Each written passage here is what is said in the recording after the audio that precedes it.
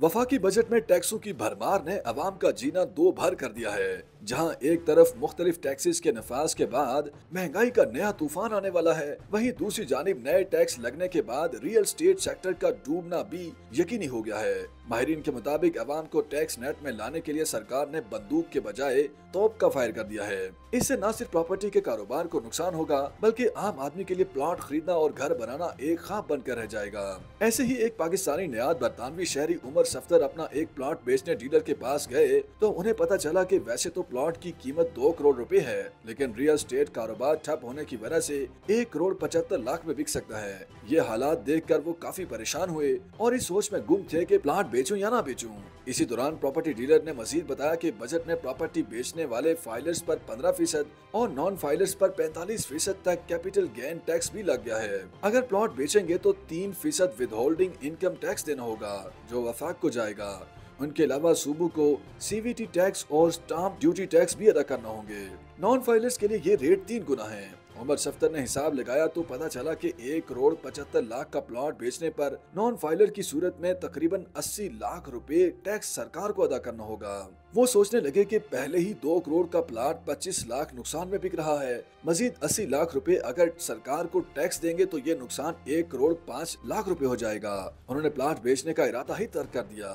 उनका कहना था कि अगर सरकार प्रॉपर्टी पर इतना टैक्स ले रही है तो इसके बदले दे क्या रही है? प्रॉपर्टी में ये टैक्सेस भत्ता लेने के मुतरदिफ हैं। दूसरी जानब association of builders and developers of Pakistan के चेयरमैन आसिफ सिम सिम ने बताया कि रियल स्टेट की सनत पहले ही शदीद बहरान का शिकार है। इतने टैक्सेस ऐसे सेक्टर्स पर लगने चाहिए, जहाँ कारोबार में तेज़ी है। रियल स्टेट पर टैक्स लगाने का मतलब तकरीबन 45 सनतों की तबाही है। उन्होंने मजीद बताया कि रवा माली साल में छह साल पुरानी खरीदी गई प्रॉपर्टी की फरोख्त पर कैपिटल गेन टैक्स नहीं था। इसके अलावा मुख्तलिफ़ मुद्दत में बेची गई प्रॉपर्टी पर टैक्स रेट मुख्तलिफ़ था। लेकिन नए बजट में वक्त की हद ही खत्म कर दी गई है। जो प्रॉपर्टी का कारोबार करने वालों की निस्बत रिहायश के लिए घर या प्लाट खरीदने वाले हकीकी कस्टमर्स के लिए बहुत बड़ा झटका है। उन्होंने मजीद कहा कि रियल स्टेट पर कैपिटल गेन टैक्स और फेडरल एक्साइज ड्यूटी के इजाफी टैक्सेस का मीशत पर बहुत बुरा असर पड़ेगा।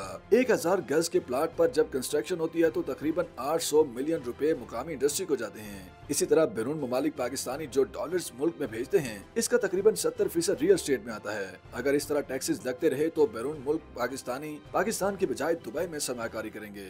बकौल आसिफ सिम सिम जो बारह अरब डॉलर की दुबई प्रॉपर्टीज़ सामने आई है वो 2022 का डेटा है। अगर 2024 का डेटा चेक करें तो ये दो गुना से भी ज़्यादा हो चुकी होंगी। इसकी वजह पाकिस्तानी सरकार की गलत पॉलिसियाँ हैं। अगर सरकार ने प्रॉपर्टी पर टैक्स रेट कम न किए तो मुकामी सरमाकार भी मुल्क छोड़ जाएँगे।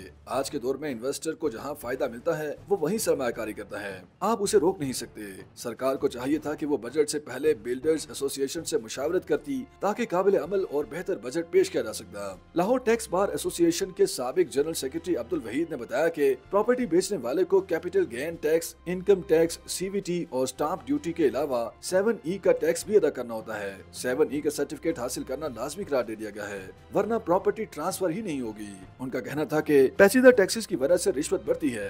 टैक्स का निज़ाम सादा होना चाहिए ताकि आम आदमी इसे आसानी ऐसी समझ सके।